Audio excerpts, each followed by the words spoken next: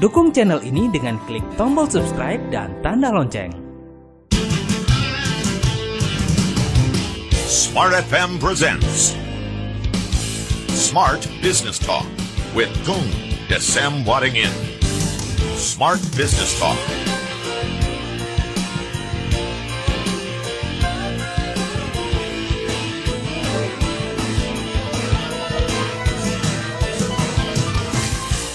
Smart listener dan juga sahabat sonora di seluruh Indonesia. Semangat pagi, pagi hari ini kita kembali hadir dalam Smart Business Talk ya. Kita mau lanjut obrolan kita bersama dengan narasumber kita Mbahnya Dasyat yang sudah hadir bersama kita. Selamat pagi Mbah. Pagi yang dahsyat. Top Marco Dahsyat. Jos. Marco Ya, Jos. oke. Yami Markimi. Nah, eh, pagi hari ini Smart Listener ini mungkin sudah Anda tunggu-tunggu karena kita mau membahas eh, part yang kedua ya. karena kita sempat terpotong waktu itu. Eh, topiknya adalah bagaimana memilih bisnis yang membuat kita work less dan earn more. Ya kan? Sudah ada beberapa yang pernah dibahas sama Patung tapi eh, satu aja waktu itu satu sub aja gitu kayaknya kurang Sudah waktunya. setengah jam gitu ya Oke, Oh, tapi yes, kita baby. kita diingatkan dulu sebelum part yang kedua, Ya. gitu ya.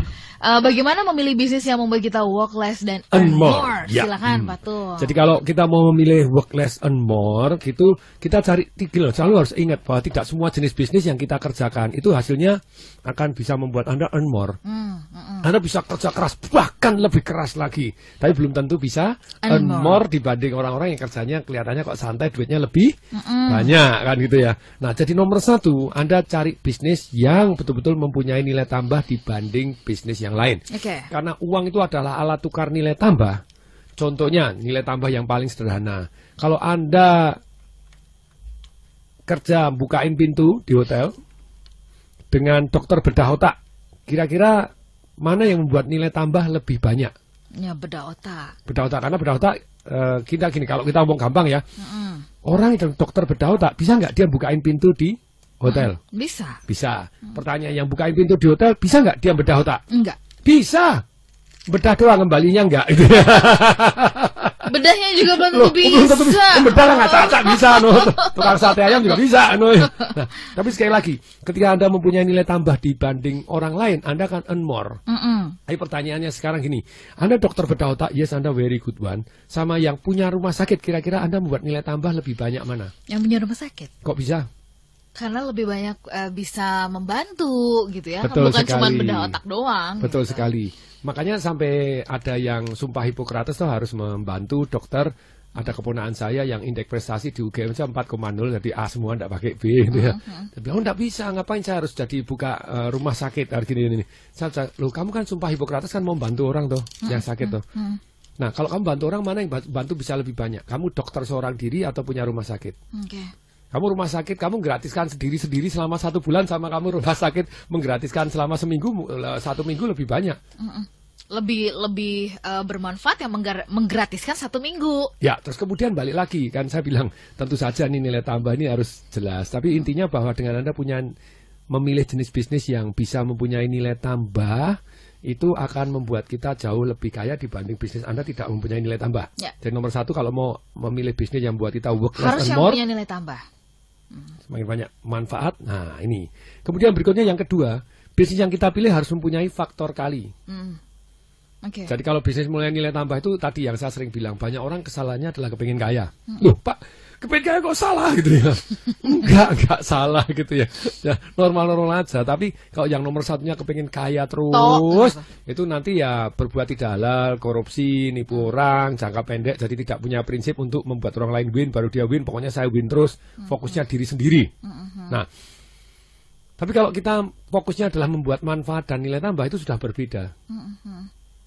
Oke.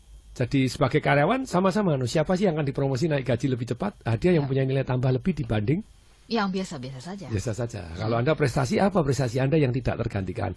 Anda bisa berperilaku menyenangkan, jujur bisa dipercaya, terus kemudian mencapai target, yes, itu semua nilai tambah. Tapi kalau semua orang yang berperilaku menyenangkan, jujur juga dan mencapai target, berarti semuanya itu adalah nilai standar. Oke. Jadi Anda kalau mau earn more, Anda harus create something more, nilai tambah yang lebih. Oh, saya usul Pak, saya berani inisiatif, Eh, saya berani berani hmm, kayak ini Vian, nah ini nilai tambah ini buku jadi karena Vian tuh nih. Eh, dia mendampingin saya nulis satu tahun nggak jadi-jadi gemes terus buku kedua satu bulan jadi ini. Nilai langsung, tambah. Nilai tambah no. Terus saya juga punya nilai tambah untuk dia no. Selain income-nya nambah, dia tambah langsing. Ya. Jadi saling-saling sama-sama punya nilai tambah. Yang kedua harus punya faktor kali. Maksudnya apa kalau yang kedua punya faktor kali?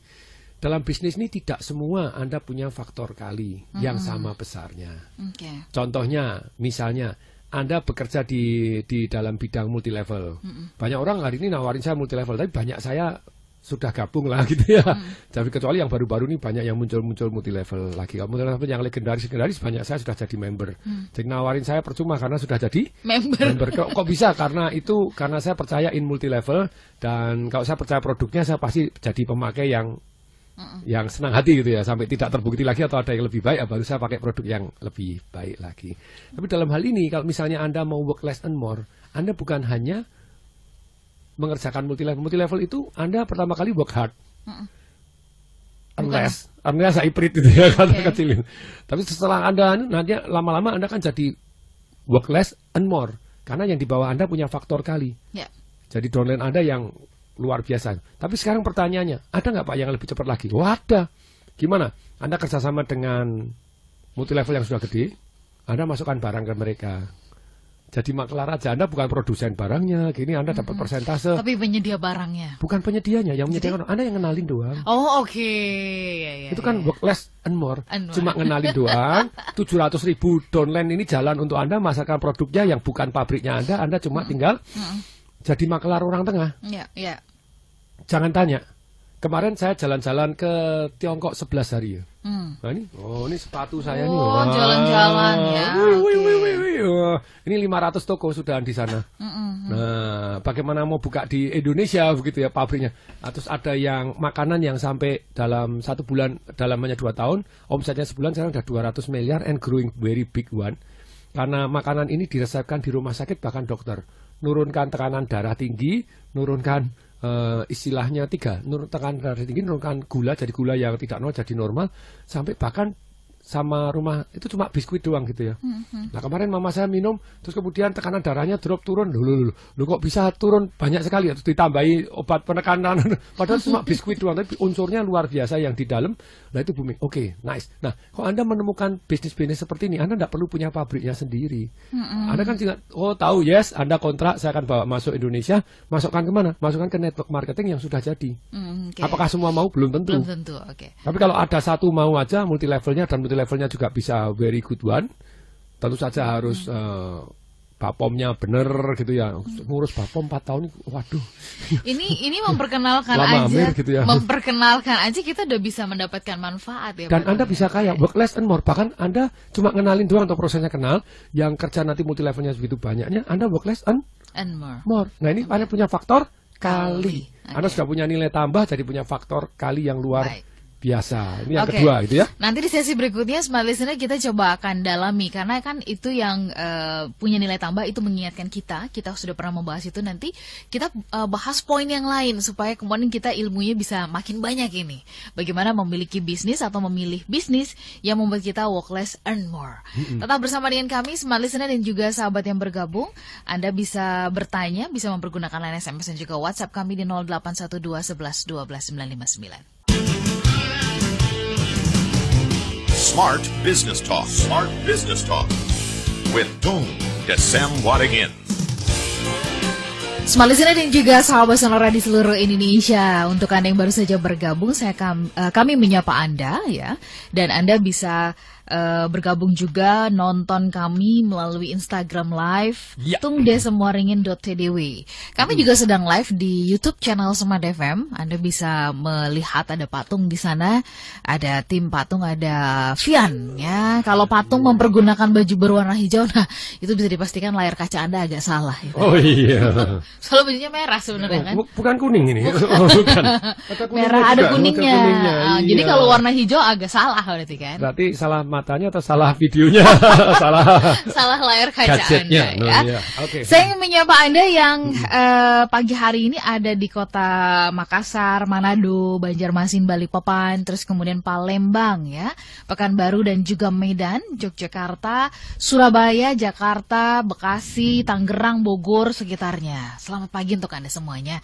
Silakan boleh sampaikan pertanyaan ini mumpung kita bersama-sama dengan mbahnya dahsyat gitu ya. Hmm, yes. Nanti saya juga tanya pengalaman beliau 11 hari di China itu ngapain aja. Wah seru banget. ya. Top Marco Top Just Top. Just. Oke, terus kemudian saya ingin menyapa Anda juga yang ada di Pontianak, Palangkaraya, Samarinda, Gorontalo, dan sekitarnya. Kemudian saya pun ingin menyapa Anda yang ada di Banjarbaru. Selamat pagi untuk Anda. Kemudian saya ingin menyapa Anda yang ada di uh, Bangka, di Belitung, di Batam, di Pangkal Pinang. Terus kemudian Anda yang ada di Aceh, di Padang. Selamat pagi. Lalu kemudian Anda yang ada di Lampung, di Bali.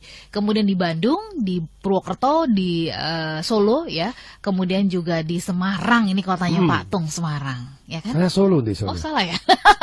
Tadi saya udah sebutin loh Solo loh. iya, Semarang kota mantan saya. Oh gitu. Usah tiap kota punya mantan. Oh, oh, iya. Nah, iya. Ih, sama ternyata. Oh ternyata banyak mantannya juga. Mbak Ola. Oke, kita lanjut dulu Yes. obrolan kita berkaitan dengan em, bagaimana kita memilih bisnis yang work less and more. Tadi Hmm. Patung eh, apa eh, katakan yang pertama itu adalah ketika memulai bisnis selalu miliki nilai tambah. Dan saya buktikan Patung Ya. ngobrol dengan s- apa namanya dalam sebulan ini ya, Hmm. udah 10 nih, 10 pengusaha eh, ngobrol bersama dengan saya. Toh. Saya wawancarain gitu kan. Ah, pertamanya itu selalu dia katakan adalah kita itu harus berpikir bahwa bisnis yang kita bangun ini nggak semata-mata dapat duit, tapi Ah. bisa memberikan manfaat buat banyak orang. Aha. Dalam hati saya berarti benar saya udah dapat bocoran ya waktu itu Wah, dari kan Pak. terbukti dengan 10 pengusaha top toh gitu ya. Iya. Nah, yang kedua tadi Patong katakan adalah Punya faktor kali. punya faktor kali. Maksudnya nilai tambahnya itu bisa dikalikan kepada banyak orang yang luar biasa. Baik. Anda mau misalnya apa sih yang faktor kali tadi? Karyawan yang bisa melayani lebih banyak.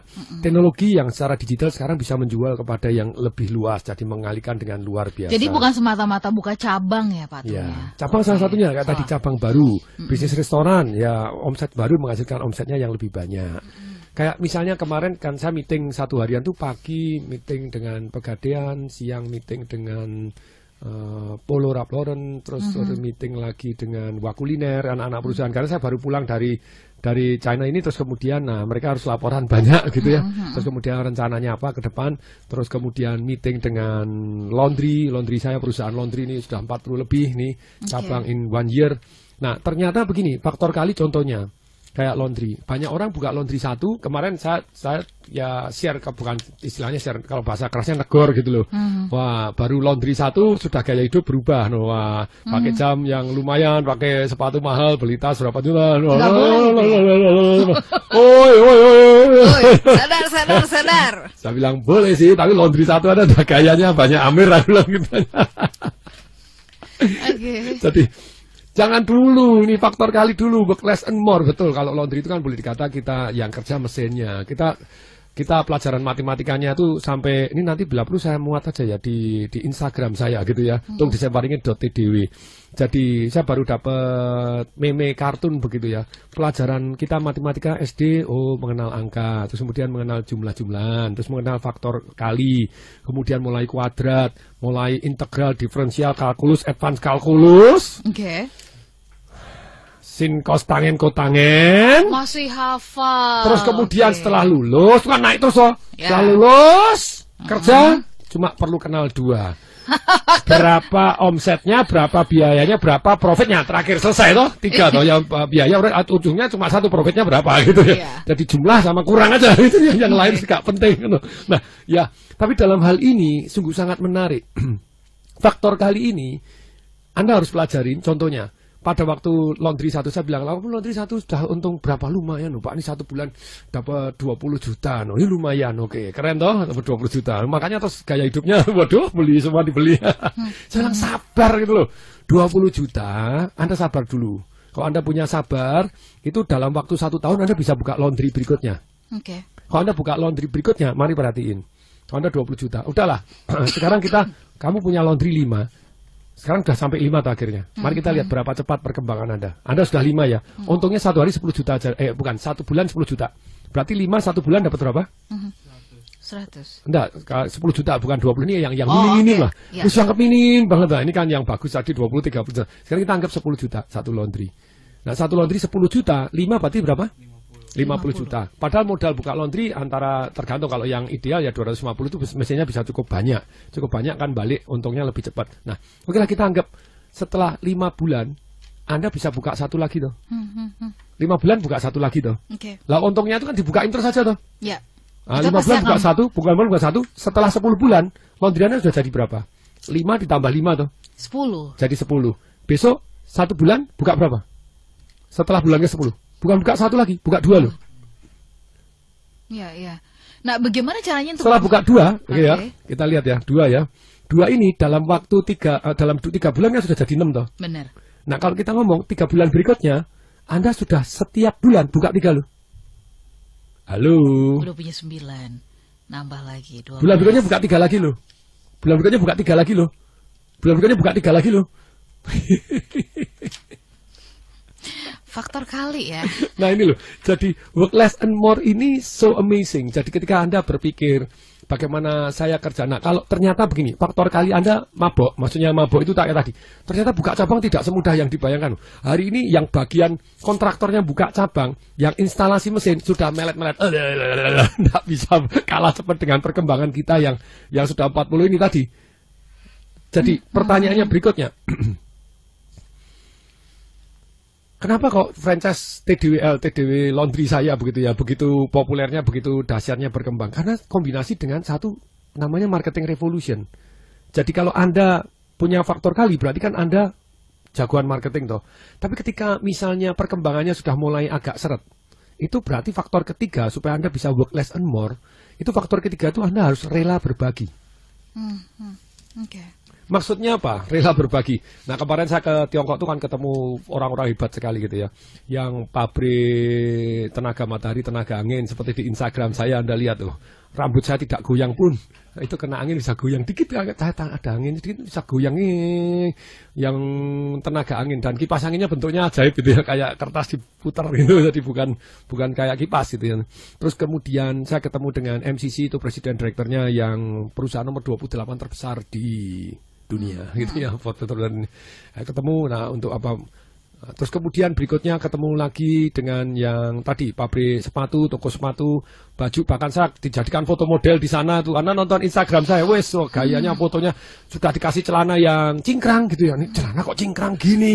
Dia bilang itu kurang tinggi. Jadi malah digulung lagi digulung supaya kelihatan kakinya. Oh milenial. Waduh no, aduh jadi saya jadi umur 17 lagi loh ya. Keren. Nah kemudian saya ketemu dengan yang tadi biskuit tadi, terus sepatu, terus fashion, ketemu dengan pengusaha-pengusaha top, salah satunya satu orang punya 200 rumah sakit. What? Punya 200 rumah sakit? Mm-mm. Oke. Dan mulai tanpa modal. Oh, wow. Oke. Itu gimana ceritanya kok bisa? Nah, langsung gitu ya. Gimana ceritanya kok bisa? dan dan ketika saya duduk ya, ketika saya duduk itu satu meja itu wah, ini ini berpuluh-puluh rumah sakit baru boleh duduk satu meja dengan saya.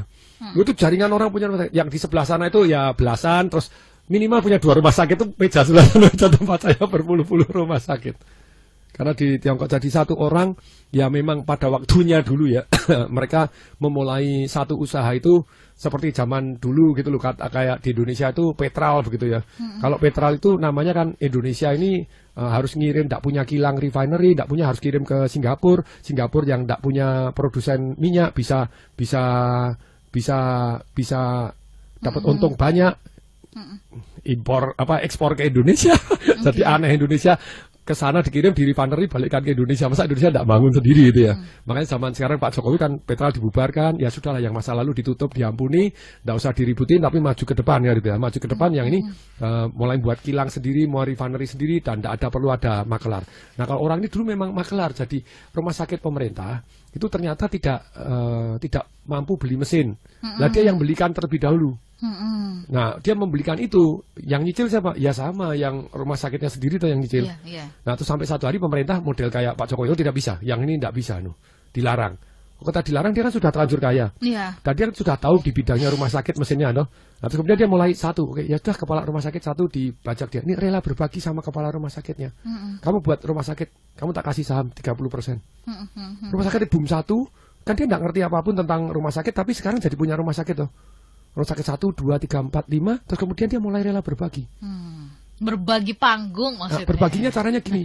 Dia kembali ke daerahnya cari orang-orang muda yang mau kerja. Nah, ini termasuk ini kemarin saya sudah umumkan nih Pak Diki dulu yang sudah ikut saya 16 tahun ini berapa tahun.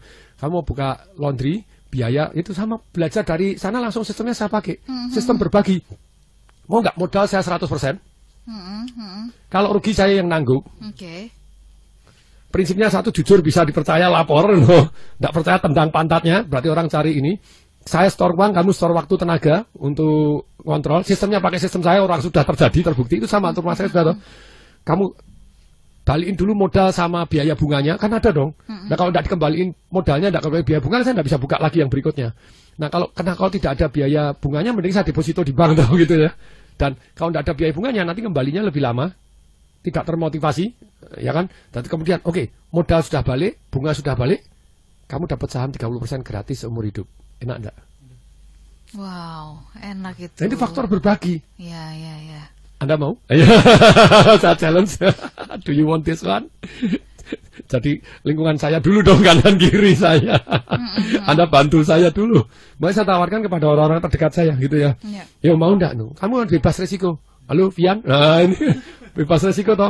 Nah, sekarang sudah malah enggak pakai modal kalau mau gitu ya. Kalau pakai pakai modal boleh gitu. Tapi intinya dengan demikian rumah sakitnya dia satu dua tiga empat lima dan orang punya rumah sakit 100 itu sama dia segen banget toh.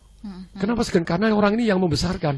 Oke. Itu tadi karena faktor rela berbagi. Kita Nah, dengan rela dulu. berbagi, orangnya kerjanya apa? Golep tiap hari, gak kerja apa pun, dapat setoran terus. Work less and more karena rela berbagi. Hoi. Karena rela berbagi. Nanti faktor yang keempat, empat, lima, enam dan yang dan seterusnya kita bahas di sesi berikutnya. Smart listener masih ada kesempatan buat anda yang ingin bertanya. Boleh pergunakan line SMS dan juga WhatsApp kami. Kami jeda sesaat. Smart Business Talk. Smart Business Talk. With Tony Desam Waddingin. Smart listener dan juga sahabat yang bergabung sahabat sonora di seluruh Indonesia. Kami masih berbincang bersama dengan Mbahnya Dahsyat kita membahas mengenai bagaimana memilih bisnis yang work less and more part yang kedua ya. Minggu sebelumnya eh, dua minggu yang lalu kita membahas ini dan rasanya masih banyak yang belum kita bahas. Dan tadi tiga hal yang diingatkan bahwa bisnis itu harus memiliki nilai tambah dulu gitu ya. Harus punya value buat banyak orang. Jadi ternyata bukan bagaimana profit tinggi rupa-rupanya yang harus ya buat manfaat. banyak manfaatnya dulu. Profit punya, tinggi cenderung korupsi. Ah, ya, punya, punya faktor kali dan kemudian rela berbagi yang ketiga, smart listener. Dan eh, sebelum nanti anda kita bacakan pertanyaan-pertanyaan yang masuk, Pak Tung yang keempat dan yang kelima boleh nggak kita tuntaskan? Silakan. Boleh dengan senang hati. Jadi jadi dalam hidup ini ini kan prinsip pertama dulu, bukan prinsip prinsip pertama itu ada tiga. Jadi prinsip pertama yaitu kalau belum punya bisnis maka pilihlah bisnis yang punya nilai tambah gitu ya. Kemudian yang kedua yang punya faktor kali yang bisa dibuat jadi banyak. Kalau ada buka warung bakso satu oke tapi worth it loh dibuka sampai ke 150 gitu ya. Nah caranya gimana? Lo satu aja di oh, karyawannya kurang bagus gini ya, ya karena ganti. Itu worth it untuk dimulai. Itu sistemnya belum ketemu ya, sampai akhirnya ketemu.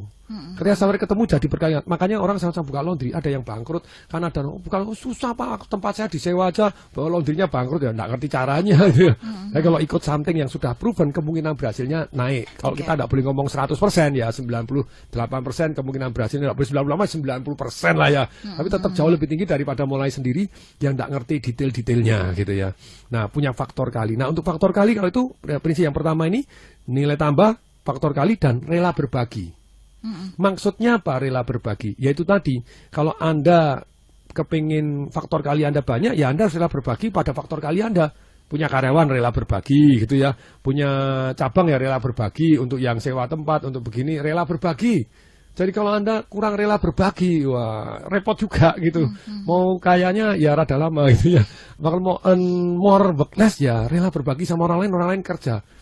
Saya bisa bilang tapi jangan mengharapkan saya hari ini yang saya disuruh terjun terus gitu ya. Saya mau sebulan dua kali briefing apa untuk membantu sumbangan pemikiran dari wisdom yang saya dapat hari ini.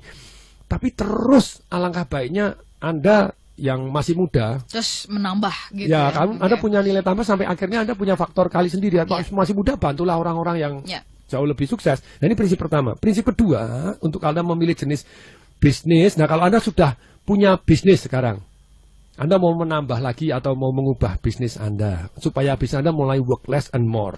Caranya nomor satu, tentukan gaya hidup yang Anda inginkan lebih dahulu. Ini prinsip kedua gitu ya. Oke. Gaya hidup Anda yang inginkan Anda apa? No? Kayak tadi yang punya 200 rumah sakit. Itu satu meja yang itu, puluhan-puluhan rumah sakit itu pada naiknya Rolls Royce, Bentley, Ferrari dan punya dua, punya tiga, punya empat, punya lima, beli Tesla 3,5 m beli tiga. loh. Jadi, jadi, jadi makanya saya ke sana tes tes drive Tesla begitu ya Teslanya ada yang putih, ada yang biru, sebentar ganti-ganti yang mana-mana. Oh, Eh, Cobain wow. aja. Loh ya mereka ya seru-seru. Jemputnya Bentley. jadi, jadi jadi jadi wah ini orang-orang yang hebat ini ternyata mereka rela berbagi gitu ya. Dan tapi tentukan dulu gaya hidup Anda yang Anda inginkan. Ini prinsip kedua. Jadi tentukan gaya hidup yang Anda inginkan, kemudian tes cermin. Apa yang Anda lakukan hari ini bisa nggak mencapai gaya hidup yang Anda inginkan nantinya? Us, tes cermin ya. Ngeri loh. Ngaca deh, gitu loh. Bagian yang ini mungkin banyak yang kalah Ngaca, waduh, yang saya kerjakan ini tidak mungkin saya mencapai yang saya inginkan. Mm-mm. Nah kalau Anda bilang, bisa sih Pak, Anda pertanyakan lagi supaya lebih cepat. Nah ini supaya lebih cepat, Anda kan, wih berarti faktor kalinya sabar dulu. Kayak tadi saya bilang, baru punya satu, dan gaya dulu. Ya sabar dulu. Kalau Anda sudah sabar, nanti satu tahun jadi dua. Mhm. Setelah itu setengah tahun jadi tiga. Jadi tiga. Oke. Setelah itu, hanya dalam tiga bulan, jadi empat. gitu ya. Nah, setelah itu, wah terus. Setiap bulan nambah satu, setiap bulan nambah satu, selama setiap bulan nambah dua, setiap bulan nambah lima. Loh itu kan seru. Ketika Anda sudah punya faktor, lupa apakah kalau gitu tidak pernah saya nikmatin, silahkan. Anda boleh sisihkan. Kayak kayak kita, oh bagus itu toh, terus kemudian pada langsung, Pak bagi hasil, bagi hasil, bagi hasil, suruh bagi hasil, terus ada. Ya saya tahu kebutuhan orang sendiri-sendiri kan gitu ya. Sudahlah bagi hasil. Kalau saran saya sih 100% digulung dulu, sabar dulu. Tapi kalau tidak bisa ya 70% lah. Tidak bisa maksimum maksimum 50% Anda gulung, 5% silahkan Anda nikmati. Tapi 5% Ya, ya. minimal digulung. Digulung lagi terus kemudian untuk membesarkan. Kalau digulung kira-kira. itu Anda gini loh. Nikmat-nikmat gitu. Ketika Anda sabar dikit, Anda biarkan pasif income Anda yang cari duit untuk Anda. Nah, pada saatnya Anda kayak tadi mau beli eh, Bentley, mau beli apalah. Nah, terus kalau sudah ngomong ini, "Oh, saya tidak senang orang kaya. Salah, no. orang kaya jangan dimusuhin. Anda pelajarin, jadikan inspirasi. Kalau Anda benci terhadap orang kaya, Anda susah jadi kaya. Hmm, bener. Jangan benci sama orang kaya. Nanti kita jadi susah jadi orang kaya. Ya, ya loh. Iya, Loh, iya. nanti kan Anda takut dibenci juga. Iya, betul. Oh, nanti kalian dibenci ya. Tadi Anda miskin forever kan celaka, celaka gitu ya. Iya, iya, iya, iya. iya. Jangan dengki, jangan musuhin, inspirasi gitu ya, pelajarin. Makanya sampai tadi pagi saya baca tentang Ray Dalio ya. Jadi dia cerita termasuk ternyata luar biasa dahsyat ya. Jadi Warren Buffett di tahun 2006 dia sebagai salah satu orang terkaya, orang nomor satu nomor dua dengan Bill Gates jadi orang nomor satu nomor dua terkaya di dunia. Dia membuat satu yayasan. Kalau yang memulai itu adalah si Warren Buffett. Jadi Warren Buffett bilang 100% kekayaan saya saya sumbangkan. Anak saya tidak tak kasih warisan. Kamu kerja sendiri dari kecil udah tak omongin, Wuh, sangar banget. Uh, akhirnya tidak tega juga. Iya. Anaknya masing-masing dikasih 100 juta dolar, 1,5 triliun ya oke lah lumayan. Tapi cuma 100 juta dolar uang kekayaannya itu 80 sekian miliar US dollar, 100% sumbangkan. Nah, Bill Gates membuat satu organisasi 50% kekayaannya disumbangkan. It's amazing. 50% dan kemudian dia buat yayasan ini sampai hari ini sudah 190 orang miliarder yang tanda tangan kalau dia meninggal nanti 50% kekayaannya disumbangkan. Waduh, duh, duh, duh. Iya ya, ternyata eh, makin kita perhatikan orang-orang yang justru berada di puncak yang punya banyak segala macam, justru mereka sangat memiliki eh, keinginan untuk rela berbagi. Ya. Nah, terus kemudian Ray Dalio kan salah satunya. Terus kemudian dia bilang begini bahwa kalau orang bilang timbang pendapatan ini makin membesar, sebetulnya dia pakai koran. Koran tahun 1930 dengan hari ini ternyata sama. Jadi bukan hanya di Indonesia, di seluruh dunia. Iya, iya, iya. Jadi satu persen orang itu dibanding dengan 90 persen orang. Misalnya menguasai tanah lah sama, satu persen orang menguasai tanah bisa sama 90 persen di jumlah menang satu persen yang menguasai tanah jumlahnya. Jadi kalau misalkan jumlah orang yang Dan itu menguasai biasa-biasa saja. Ya. Nah, pertanyaannya sama Redelio, terus apa yang dilakukan? Oke. Nah, sumbangan-sumbangan ini alangkah baiknya dia bilang bahwa timbang pendapatan itu timbul karena timbang pengetahuan. Jadi public education untuk tentang bagaimana menjadi kaya, jadi rela berbagi, terus faktor kali, sabar dulu sampai punya pasif income baru gaya, belum apa-apa konsumtif nanti dijajah kepengen beli ini, beli itu, beli itu, ya. Belum apa-apa baru kerja nyicil Honda CBR. Berapa kemarin kita hitung-hitung? 38 juta ya Honda CBR. Dicicil-cicil setelah 32 bulan, cicilannya 1 juta setengah, uang mukanya 9 juta, total-total 60 juta. Setelah 3 tahun, dijual CBR tinggal 18 juta, rugi 42 juta. Goblok. Kepengen gaya tok itu ya. Sabar dulu, woi itu ya. Iya. Ah, ya, lah terus saya kan harus untuk kerja, kerja pakai Honda apa Legend tahun 2000, harganya berapa? Dua, dua juta ya. Dua juta kan gampang rusak lah rusak ya tiga ratus ribu, dua ribu daripada setiap bulan satu juta setengah, terus setelah tiga tahun rugi 42 juta ya. Goblok tuh, goblok banget ya. Ya pakai yang pakai yang yang bukan betul bukan dulu. bodoh, kurang pintar. Ya ada itu bahasa halusnya ya ya. Tapi ini saya ngomong gini partai keras itu ya. Sorry kalau Anda tersinggung, tapi semoga tersinggung gitu ya. supaya berubah gitu. Supaya berubah, no, lebih baik Anda tersinggung dan berubah jadi baik. Terus kayak kemarin saya lari pagi ya. Iya. Pada waktu saya lari pagi, bukan lari lah, jalan kaki nemenin mama saya jalan 4 kilo, luar biasa gitu ya. Nah itu ketemu lima orang. Jadi satu orang lagi kepapasan gitu. Terima kasih Pak Tung. Saya sekarang sudah punya dua rumah. Saya dia jalan sama anaknya. Tapi dia ibu-ibu tapi agak gemuk. Saya bilang, Bu, oke terima kasih. Tapi inspirasi berikutnya tambah langsing ya. Langsung sekakmat. Harus lurus ya. Bener loh ya kamu ya kaya mati duluan kan tak seru loh mati eh, awet muda kan boleh. Lu saya ini orangnya lurus-lurus saja gitu. Saya mati duluan, ya sayang ya masuknya. Nah, ya kan sudah punya dua rumah, padahal iya Pak terima kasih ngomong anaknya, tuh disuruh langsing pada sendiri juga gemuk dia. Kemudian ketemu orang naik sepeda, eh naik sepeda papasan tuh langsung foto, langsung diturun, Pak Tung boleh foto enggak anu? Terima kasih Pak Tung, saya belajar tentang Pak Tung menunda kesenangan pasif income, thank you Pak Tung ya. Anu, ya, jadi saya gini terus eh, saya juga jaga kesehatan bagus, terus eh, selfie. Oke jalan dan mampir di satu restoran gitu ya. Di restoran ada satu ibu-ibu.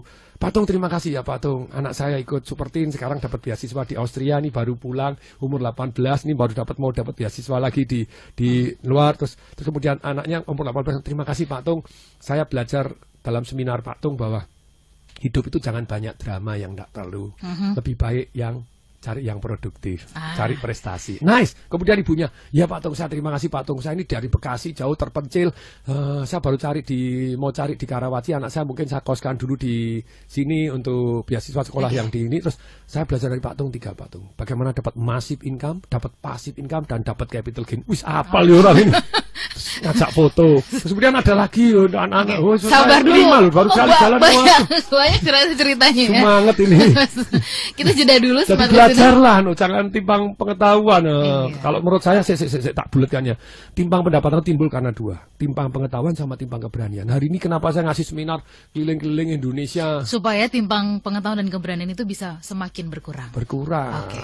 Kita Oke. sambung nanti di sesi se- terakhir ya. Ada beberapa terakhir? pertanyaan- Iya, Baru beberapa semangat pertanyaan yang kita bahas. Tetap bersama dengan kami. Smart Business Talk. Smart Business Talk. With Tung Desem Wadingin.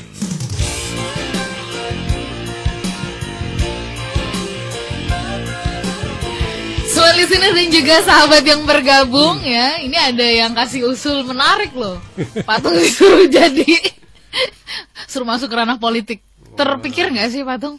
Jadi sebetulnya ya maybe ya sampai sama tapi sekarang pemikirannya adalah sharing yang saya bisa sharing. Kalau Oke. bisa itu gak saya itu kan sharing banyak, tapi kelihatannya memang tidak berubah. Jadi belum berubah Kayak sistem pendidikan di Indonesia, bukan di Indonesia, di dunia Di ya. dunia. Hmm. Yang saya cerita tadi, begitu banyaknya ilmu yang ajaib, aneh, terus kemudian pada waktu belajar susah setengah mati. Kemarin kan anak saya baru selesai lulus ujian, bukan lulusan, selesai ujian terakhir UNAS kan gitu ya. Kemarin malam terus ngobrol sama saya, saya luangkan waktu habis meeting, gini sudah gini, terus kemudian saya luangkan waktu ngobrol sama anak saya karena dia sudah eh, hari-hari kan sudah terakhir tuh SMA, nah, papa baru buka. Nah ini loh, sebetulnya banyak yang kamu pelajari nggak penting dalam kehidupan, tapi tidak apa-apa. Eh, ya ya ya.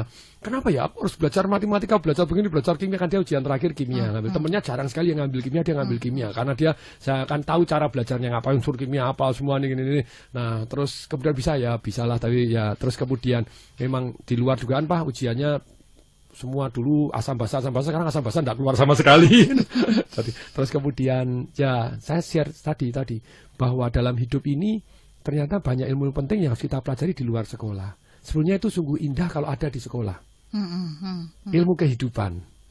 Yang nantinya sebelumnya kalau Anda hanya mau belajar kalkulus, ngitung begini, Anda boleh nggak boleh kalau Anda mau belajar jadi ilmuwan atau jurusannya ke sana. Ya.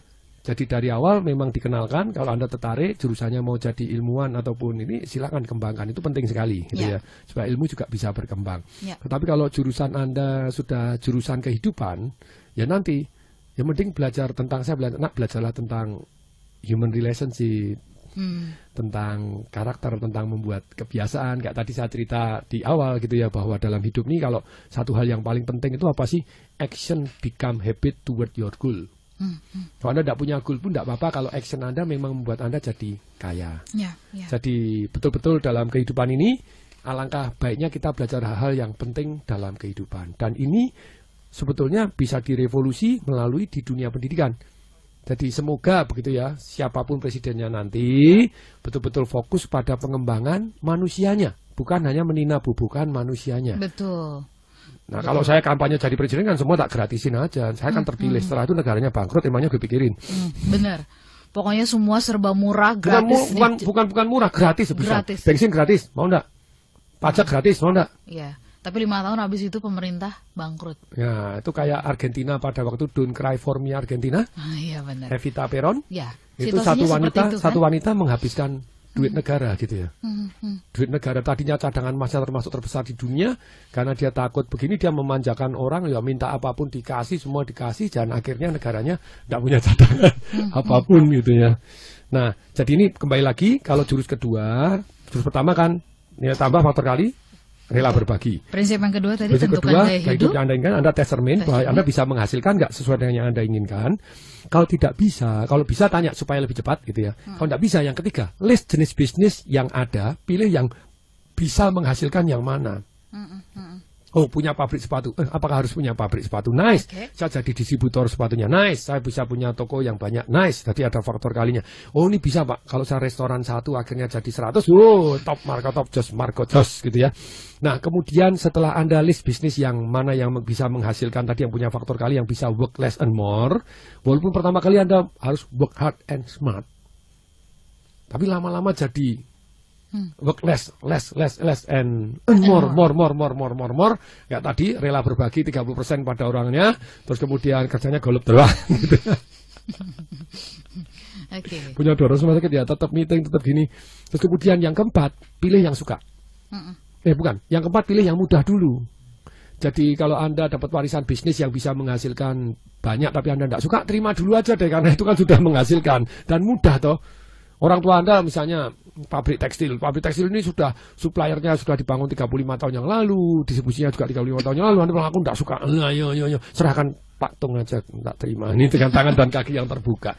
Kan itu sudah pengalaman 35 tahun itu mudah, jalurnya, networknya itu sudah tidak sembarangan seperti kalau Anda mulai dari nol mudah oke gitu ya. Terus kemudian setelah dari mudah Anda list, dari yang mudah pilih yang Anda suka. Lu kalau ternyata menghasilkan mudah tapi Anda tidak suka, terima dulu. Secepat mungkin di regenerasikan, rela berbagi sama manajernya, rela berbagi sama GM-nya, jadi rela berbagi dan ada standar-standarnya. Anda pelajarin dulu. Setelah Anda pilih yang suka, kemudian yang keenam supaya Anda lebih cepat work less and more, Anda cari orang yang sudah sukses di bisnis tersebut untuk belajar, untuk kerjasama, atau untuk kita pekerjakan. Anda kan work less and more. Oke. Contoh, Anda nggak ngerti tentang keuangannya, rekod orang keuangan. Anda ngerti tentang HRD, rekod HRD. Kemarin saya ditanya sama anak perusahaan, Pak kita dapat perusahaan kita untung sekian berkali-kali lipat Pak. Noah ini terima. Terus sekarang kita mau gini Pak, kita gini. Menurut Bapak ini gimana? Kita ini kan kita bentuk tim dulu, atau setelah kita perlu banget baru kita bentuk. Nah tergantung. Kalau Anda sudah punya uang, lebih baik bentuk tim dulu punya uang, punya income, punya begini, bentuk tim dulu, timnya kerja. Tapi kalau Anda belum, punya uang lagi mepet-mepet, iya, kalau perlu lagi rekrut orang. Nah ini, ini prinsip-prinsipnya. Jadi dengan prinsip kedua ini, Anda Cari orang yang sudah sukses, Anda belajar, Anda kerjasama, bahkan mempekerjakan orang yang lebih sukses di bidang yang Anda ingin sukses, Anda work less and more. Kayak saya misalnya buat pabrik biskuit, daripada penelitiannya begini ya cari orang yang menang Nobel, yang apa, yang memang sudah membuat, sudah ada pabriknya, ya itu kan jauh lebih cepat tuh. Baik. Oke. Worknya less tuh, Iya. earnnya more tuh. More. Oke, Patung sampai di situ ada satu pertanyaan yang eh, kita mintakan Patung untuk menjawab Yes. dari Pak Firman di Makassar. Bagaimana menyikapi karyawan yang sudah lama kerja sama kita, eh justru malah jadi kompetitor, terus kemudian resign. Jadi kita harus training Ah. karyawan dari awal lagi. Ini gimana Yes, menghadapi situasi makanya ini? kemarin tuh sampai saya bilang kita ya semuanya kalau orang beri franchise kita kan tidak boleh buka usaha yang sejenis. Mm-mm.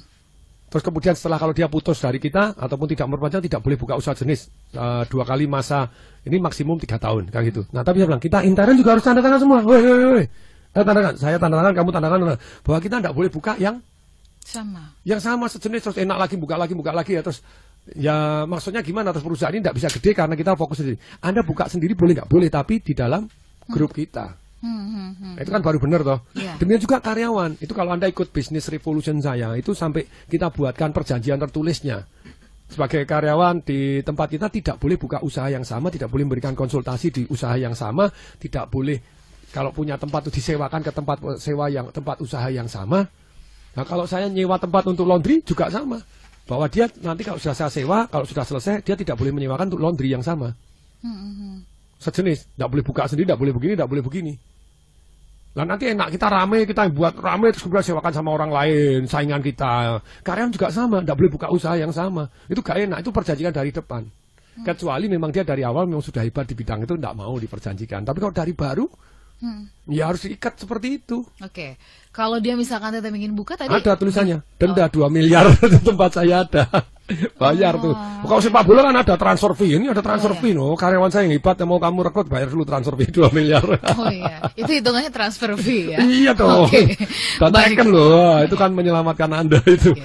Dari awal harus sudah jelas ya Iya. perbedaannya. Patung kita masih Iya. ingin ngobrol lebih banyak lagi. Heeh. Sabar sebentar, Oh, yes. sabar sebentar. Heeh. Karena kita eh, kita akan ketemu dua pekan dari sekarang. Itu sebentar lah. Oke deh. Ya kan Iya. nanti kita ketemu lagi ya. Yuk. Dan smart listener serta sahabat Sonora apa yang tadi dibahas oleh Patung mudah-mudahan bisa menyalakan semangat kita lagi untuk work less and more dan tadi ada dua prinsip yang sudah dibukakan mudah-mudahan bisa memberikan insight baru eh, semangat buat kita.